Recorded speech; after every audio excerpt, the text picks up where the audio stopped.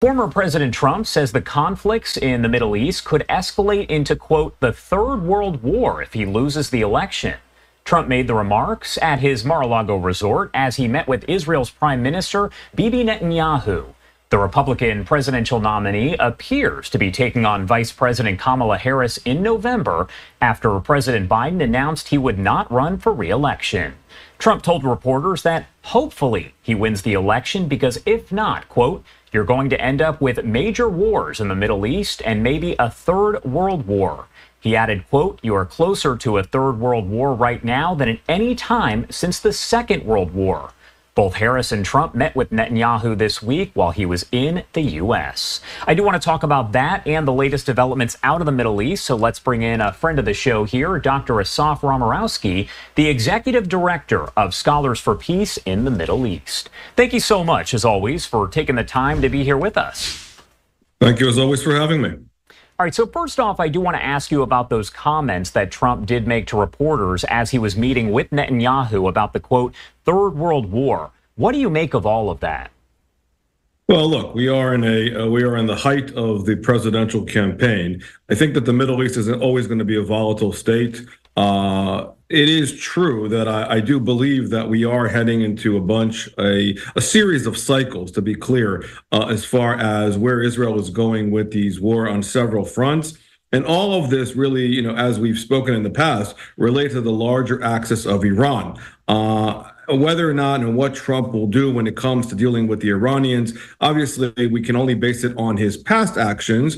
Uh, positively, he of course uh, cut off and you know the the deal, the 2015 JCPOA and turned that around. There was a little bit more deterrence, but the Middle East is evolving, and again, it's not you know necessarily clear that whether or not that he will be in office or Harris, uh, how that will impact uh, necessarily. Of course, it will impact U.S. actions as far as our allies. That being said, the wars in the region, I think, are going to continue independent of who is in the White House. I think the bigger question relates to the fact is who is going to give the most amount of deterrence. Uh, as it relates to U.S. stance in the region at large. And, and, that, I think, is something that we need to restore.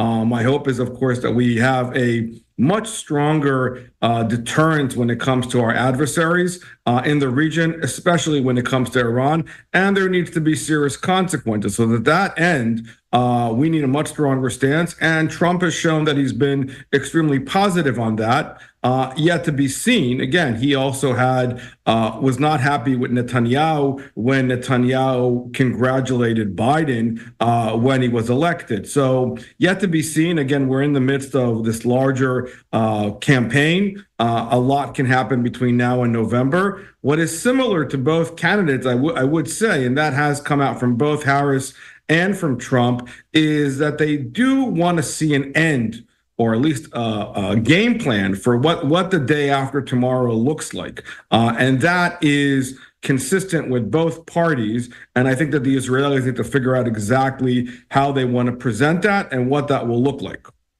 And I want to talk about that because the day before Trump met with Netanyahu, he said to his supporters that Israel needed to quickly finish up the war. And then after meeting with Netanyahu, Kamala Harris said basically the same thing. And we know Netanyahu did get pretty upset with Harris for her comments, saying that it's possible this could impact the ceasefire hostage release deal in some way. One of these two people could be the next U.S. president. So is that concerning for Israel and for Netanyahu that they are making essentially the same comment? Well, it's definitely concerning to Israel, and, and they need the United States. They need the U.S. Israel relationship to work.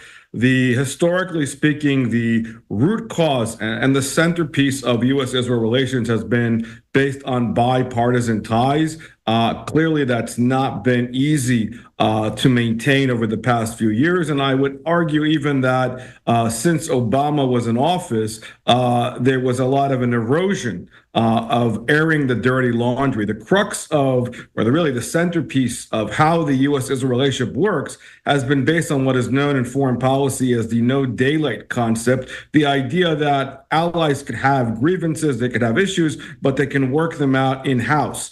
Uh, over the past few years, we've seen presidents, uh, including Obama, including Biden, and now Harris, uh, you know, in her candidacy, you know, the presumptive nominee, are airing a lot of dirty laundry on the Israelis with the idea of putting out pressure. Again, it's not only been consistent to Democrats, Republicans have also had airing dirty laundry as a way to put on pressure on the Israelis. Uh, you know, again, it depends on the personality, the tact, and the psychology that plays out into, all of this. Uh, what upset Netanyahu and Harris's comments in particular was the fact that she focused a great deal on the suffering of the civilian population without taking into consideration exactly what's going on as far as the hostages, as far as exactly what the Israelis are doing, and the steps they've been taking serious steps to maintain the integrity of the civilian population. That caught Netanyahu off guard, and that's where a lot of the upset came from uh, from the Netanyahu camp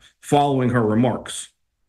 I do want to pop this video up on the screen right here. It's been circulating over the past several days because we saw fires that were set to American flags, vandalism to monuments there in D.C during Netanyahu's trip. Does that say anything about the state, the current state here, of the U.S. Israel relationship?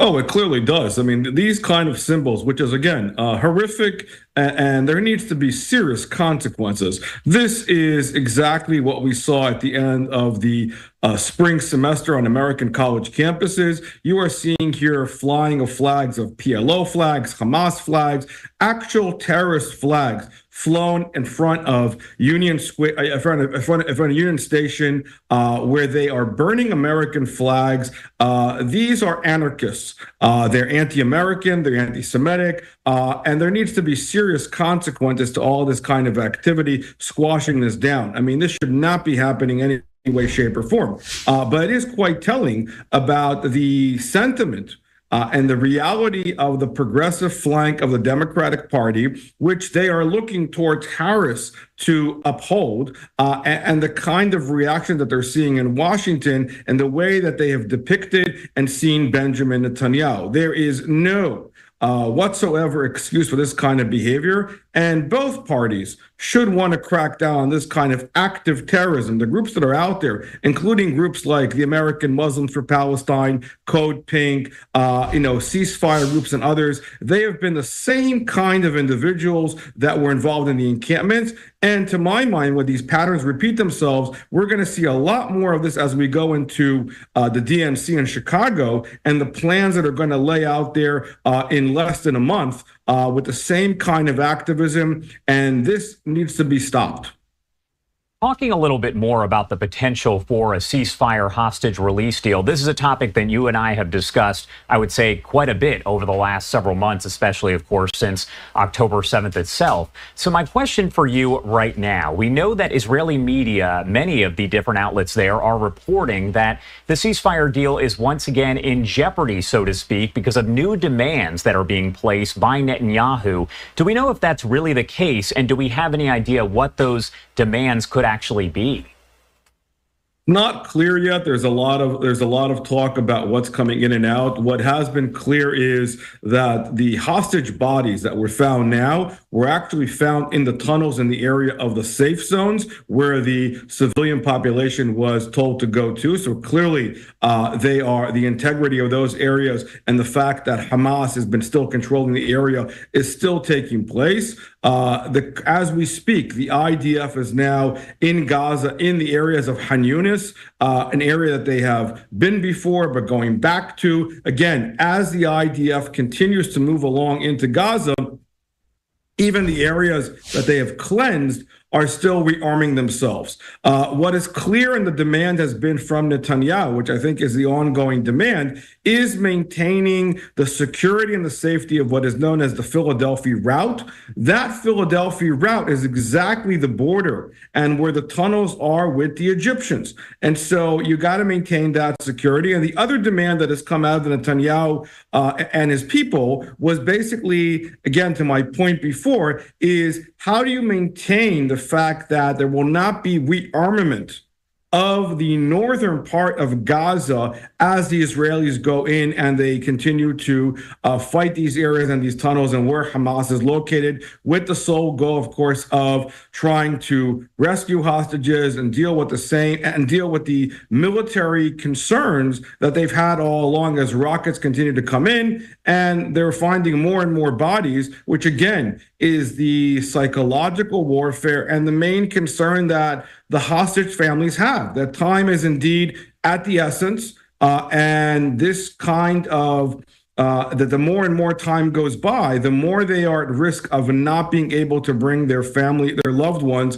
uh, alive and safe. And that's a really psychological uh, mind game that they're playing with the Israelis. And Hamas knows that. This is Hamas's lifeline, uh, and this is their life insurance. And they are they they have time on their side, whereas the families here we are almost nine months and almost ten months into the war itself, uh, and where they want they have not seen resolution for what is a critical uh, and an emotional and a stressful issue for Israeli society at large, but in particular to the hostage families.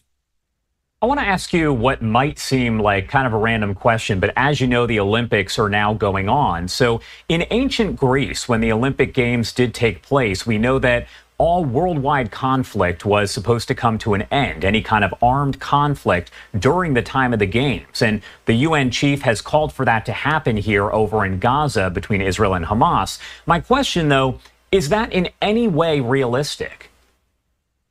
It's idealistic. I would like to think so. I mean, you know, what is telling for the Israelis that these games are, of course, on the anniversary of the 1972 Munich elections, where you had, again, hostage takeover during the Olympics. You had Black September, an affiliate of the PLO, uh, killing Israeli athletes. That has been a traumatic and a tragic event that keeps in the minds of Israelis. Uh, one of the things that was not that the Olympic team uh, was not the Israeli Olympic team was not allowed to wear were hostage pins. So you did see that the swim team uh, were able to, uh, you know, in one of their in one of their uh, exercises, uh, spell out "Bring home the hostages." Uh, I think that the Olympics are indeed a symbolic uh, and symbolism that you can have uh, a farewell to arms and coming together and whatnot. Uh, but on the other hand, you know, you've also seen attacks at the Paris train station. You've seen some anti uh, significant growth of anti-Semitism in Europe. So while all the games are taking place and the idealism that we would like to have happen going back to ancient Greece. Um, politics and populism and radicalism are indeed driving a lot of the tenor, uh, even at the Olympic Games.